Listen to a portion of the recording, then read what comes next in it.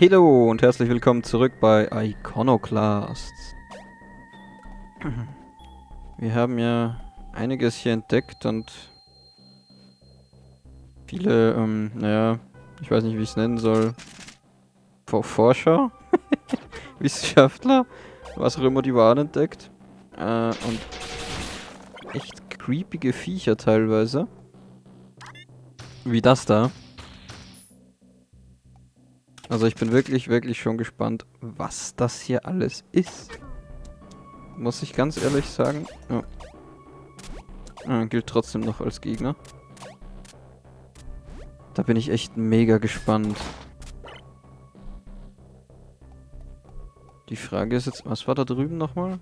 Ich, ich habe noch mitbekommen, da kann man... Ach nein, das war das, was... Ja, das ging ja nicht, das hat er ja oben...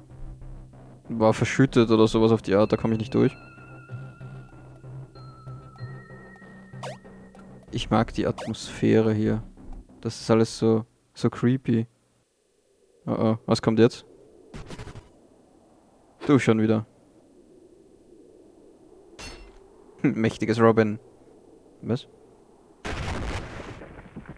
Was zum...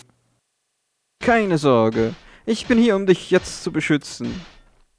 Ich habe meine Loyalität bewiesen, da ich einen meiner Zeitgenossen eliminiert habe. Seine Implantate funktionieren nicht im Wasser. Er sollte dich nicht länger belästigen, Mechanikerin. Hat er mich jetzt wirklich angegriffen? Wollte mich der retten? Ich weiß nicht genau, was ich von dem halten soll. Aber schön, dass Royal wieder da ist. Ich muss mich noch einmal für den Ungehorsam meiner Untergebenen entschuldigen. Sie kennen ihren Platz nicht. Ich bin fertig mit ihnen. Robin, ich bin froh, dass du lebst. Ähm... Ich sehe dich in der runden Blume, die ich nicht beschwören kann. Du bist das, was mich mein ganzes Leben vermieden hat. Eine Freiheit, die nicht erschaffen wurde, sondern natürlich ist. Eine der Geburt, keine Verpflichtungen. Dein Leben ist reich. Ich habe bemerkt, dass du Blumen bewunderst, wie ich es gewohnt bin zu tun. Wir teilen ein Interesse. Wir zwei können gleich sein. Du wirst mir deine Methoden erläutern, selbstverständlich. Und ich werde deine Ideale begrüßen. Nimm mich mit dir, und wir werden es schaffen, gemeinsam von diesem dunklen Ort zu fliehen. Ich muss sagen, so, so, so seltsam er auch ist und vielleicht auch so verräterisch unter Anführungszeichen. Ich mag ihn. ich mag ihn wirklich. Äh, äh, wunderbar, wunderbar. Dann lass uns gehen. Ich werde dich an einen sicheren Ort bringen. ich mag ihn. Ich weiß noch nicht, was wir von dem Typen da unten halten sollen. Der wirklich böse ist? Ich meine, er hat uns angegriffen, aber er hat uns auch vor Schwarz gerettet.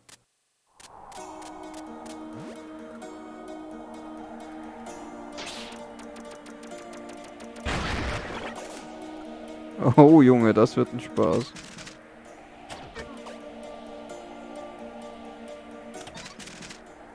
Ich weiß gar nicht, wo ich zuerst hingehen soll. Ähm.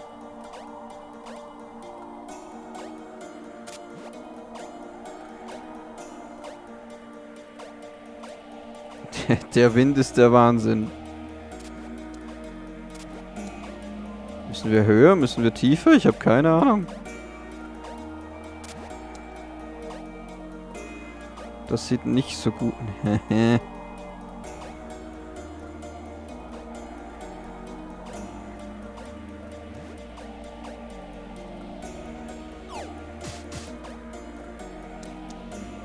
Ach du Schande. Ähm, ich hatte gehofft, dass er uns hilft. Ich hatte nicht damit gerechnet, dass das passiert. Ganz ehrlich. hey, das Schiff kennen wir.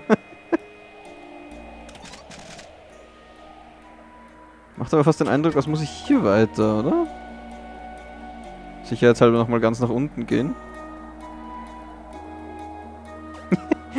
Aber das Schiff kennen wir. Der taucht auch überall auf. Wie ist der nur auf den Berg hier gekommen? Ah, mehr ist hier gar nicht.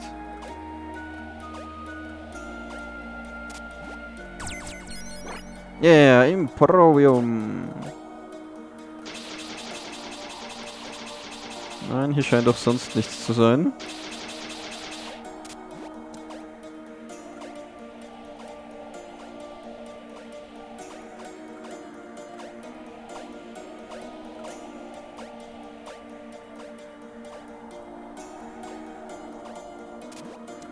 Na gut, dann geht's für uns höher nach oben. Auf, auf, zum Gipfel. Vielleicht kommen wir von da aus irgendwie weiter. Ist das die Sonne da im Hintergrund? Wir müssen das Boot noch irgendwie wegbekommen. Schiff, was auch immer.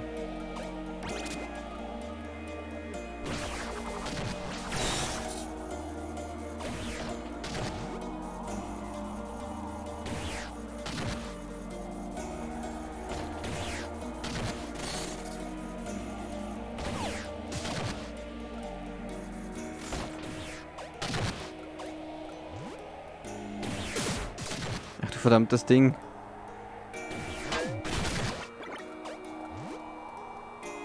Besser.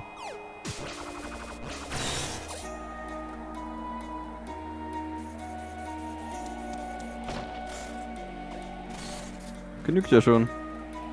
Wir müssen nur durch. Jetzt nicht wieder runterfallen. Ich sehe jetzt erst. Das Bild von Royal. Es sieht etwas high aus. Als wäre auf irgendeinem... Ähm ja. Als wäre auf irgendeinem Kaffeetrip. Trifft's das? Zinaida? Hallo, hallo, hallo. Ich bin Zinaida, deine örtliche Glücksforscherin. Glücksforscherin? Du bist auch eine Mechanikerin, nehme ich an. Schöne Jackenfarbe, Freundin. Also du läufst und hüpfst herum, aber dann... Donnerwetter werden einige von euch Feldleuten mürrisch für ein paar Tage. Aber deshalb existiere ich. Menschen essen gerne Dinge und ich werde alle Pflanzen und Kreaturen für den besten One-Konzern Muntermacher erforschen. Eine gute Pille oder vielleicht etwas Fülle nimmt die Traurigkeit auf die Schnelle. Denke weniger nach, lächle mehr. nun, nun, nun, was du für mich tun sollst, ist einen mürrischen Freund zu finden und ihm die Zineider-Spezialität zu geben. Der Schlag der Freunde. mein Zuckermuffin, der dafür berühmt ist, diese dummen Gedanken zu stoppen. Hm. der Schlag der Freude gefällt mir.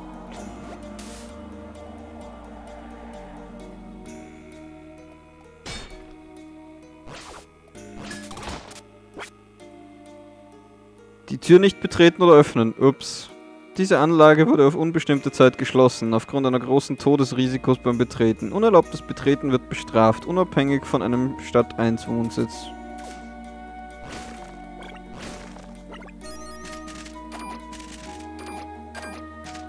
Wunderbar, gleich mal speichern. Ähm ich will mich aber trotzdem noch draußen umsehen, denke ich. Die ist klasse. Ah, okay. Hat sich erledigt.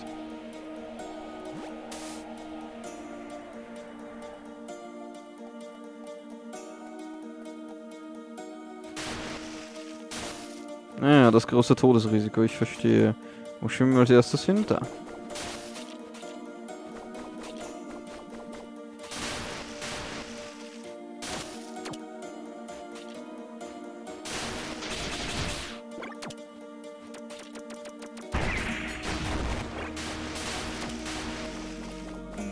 Ah, das ganze Ding ist geschwemmt worden.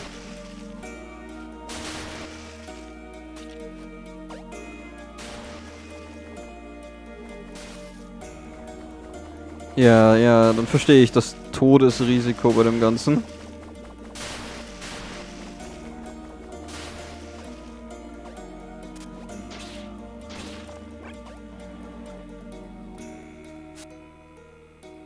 Code Red Protokoll. Zerstöre jede Aufzeichnung von Betrieb und Montage und zerstöre oder entferne alle Teile der Ausrüstung, die für die Basisfunktion notwendig sind. Wenn es sein Wille ist, wird die Eindämmung sofort stattfinden. In diesem Fall dankt Vater dir für deine Dienste und wird persönlich für dich beten. Ja, klasse. Das heißt, die sind hier eingeschlossen worden und deswegen gestorben. Was zur Hölle ist das? B Barbaren! Das, das ist die schrecklichste Tragödie, die ich jemals mit ansehen musste. Dieses Schiff der Göttlichkeit. Das Portal zwischen Geistern und Menschen. Du kannst sie nicht zerstören. Soll er der Sternenwurm selbst denjenigen verbrennen, der das getan hat? Äh, Robin? Du bist wahrscheinlich nicht dazu in der Lage, die Katastrophe vor dir zu verstehen. Das ist richtig, ja. Das ist ein Transzender. Sie sind die schönsten und göttlichsten Objekte, die uns gegeben wurden, werden. Das ist ein göttlicher Mutterleib. Einen von ihnen zu zerstören, ist wie das Ermorden eines Elternteils. Nur die glücklichen Jungen auf dieser Welt bestehen die Prüfung und erhalten den Segen, dort drinnen zu ruhen. Was passiert mit denen? Es ist ein Bad in reinstem Elfenbein, das Monate dauert, aber nur für diejenigen ist, die stark genug sind. Oh, das klingt gefährlich. Wenn du nicht stark genug bist, verzehrt das Elfenbein deinen Körper und du wirst sterben. Aber deine Seele schreitet hinüber in das Jenseits, um dort die Elite unter den Geistern zu sein. Diejenigen, die im physischen Reich bleiben, sind dazu bestimmt, die göttlichen Doktrinen voranzubringen und die Fehler auf der Welt zu berichtigen, die Agenten. Manchmal wird der nächste Anführer der Menschen, das Medium, das für die Menschen zu ihm, dem Allmächtigen, spricht, gewählt. Oh, das ist sowas wie Royal ist? Dies sind außergewöhnliche Menschen, die eins mit dem Elfenbein werden, vollständig und die Macht erhalten, sogar den Planeten selbst zu kontrollieren. Das bin ich. Ich soll die ganze Menschheit nach dem dunklen Tag, an dem Mutter die physische Welt verlassen hat, anführen und meine Macht ist bereits vollständig entwickelt. Aber es gibt auch einen anderen Ausgang.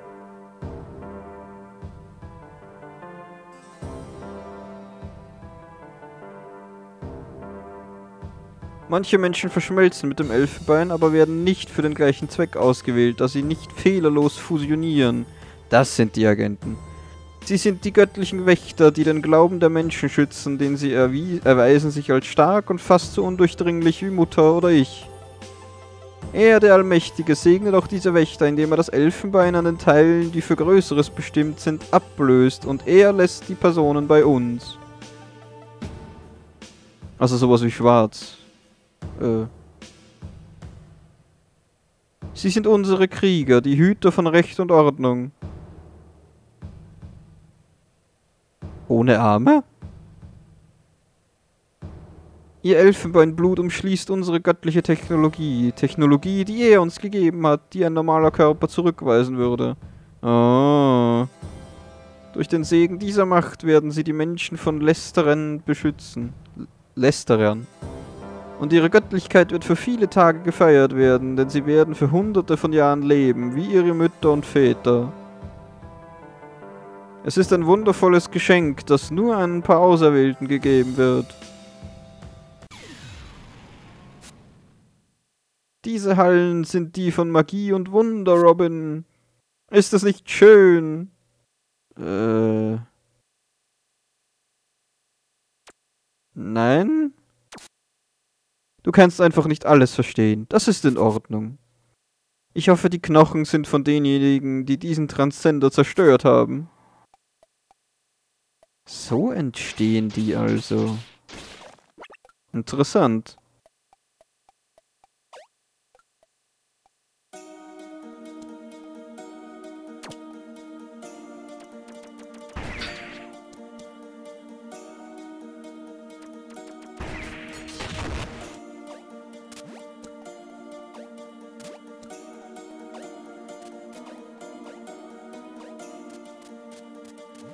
Ja, das ist interessant. Die entstehen also so. Ich habe keine Ahnung, was mir das jetzt bringt, aber... ich wollte das einfach machen. Ist da drüben eigentlich irgendwas? Nein. Ah, nicht... Oh. Hallo.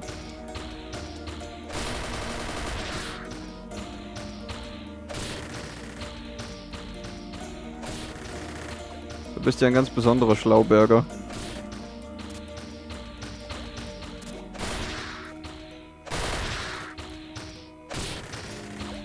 Hier.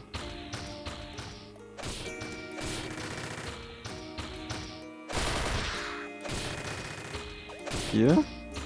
Komm her.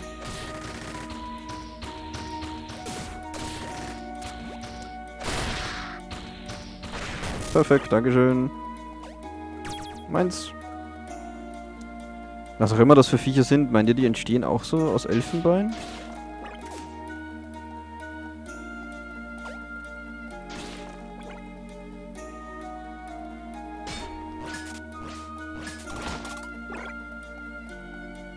Ja, wer bist denn du? Der Berg macht mir Angst. Wo ist Pola? Wer ist Pola? Sprich mit mir, Junge.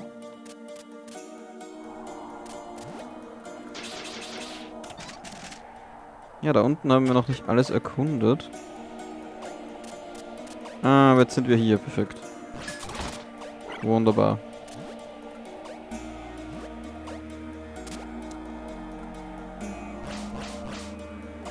Hm. Gut, da unten haben wir noch nicht alles erkundet.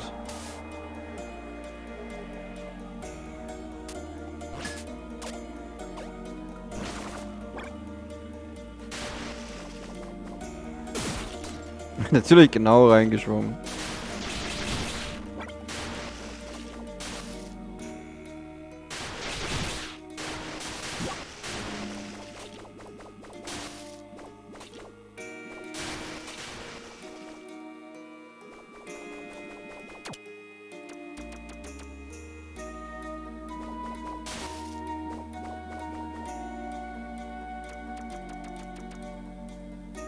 Hm.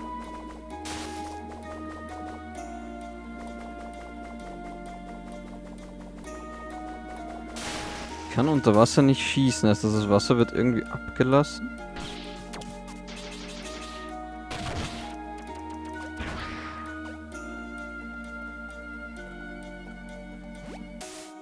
Hm. Ah, hier ist es wieder stockdunkel. Ah ja, ich weiß, wo wir sind.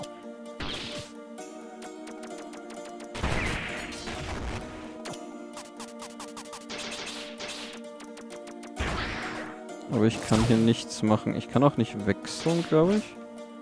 Nee.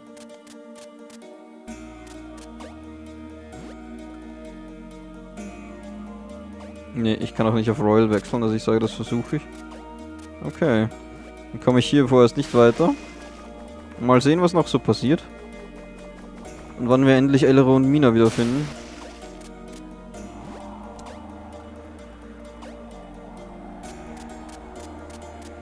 Oh, hier sind wir. Okay. Das heißt, ich kann eh nur hier zurückschwimmen.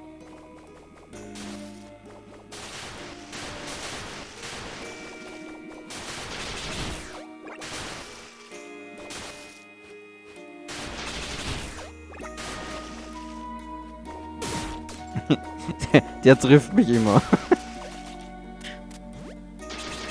so. Wunderbar. Das war ja sehr interessant heute. Aber ja, leider war es das schon wieder für die Folge. Aber wie gesagt, sehr interessant, finde ich. Wir haben da einiges erfahren. Und Royal haben wir auch wieder. Yay, wenigstens jemanden. Und ja, ich bin sehr, sehr gespannt, wie das weitergeht. Ich hoffe, ihr auch. Und ihr hattet Spaß. Bis zur nächsten Folge. Ciao, ciao.